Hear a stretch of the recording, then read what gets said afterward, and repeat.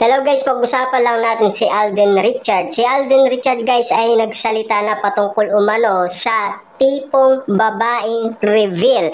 Ang sabi kasi guys ni Alden Richard sa kanyang mga tagahanga, gusto ba ninyong malaman kung sino ang tipo kong babae at kung ano ang kanyang kaugalian. Kung bakit nga naman nagustuhan ni Alden Richard ang tipo niyang babae reveal. Ang sabi nga naman guys ni Alden Richard, eh, maaasahan, mabait at madaling lapitan. Si Catherine Bernardo na nga ba ang tinutukoy ni Alden Richard sa kanyang sinabi sa kanyang mga tagahanga tungkol sa tipong babae reveal. Siya na nga ba talaga guys? Kasi kapansin-pansin nga naman kasi guys ang sinabi ni Alden Richard sa kanyang mga tagahanga. Eh siyempre guys maraming kinilig doon, ba?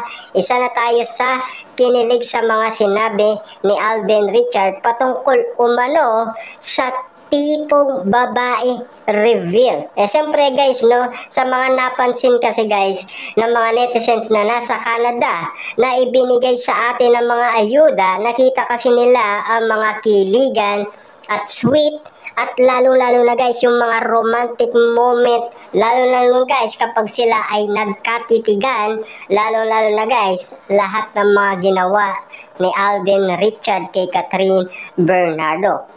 At lalo na guys, yung special na pagkaluto ni Catherine Bernardo kay Alden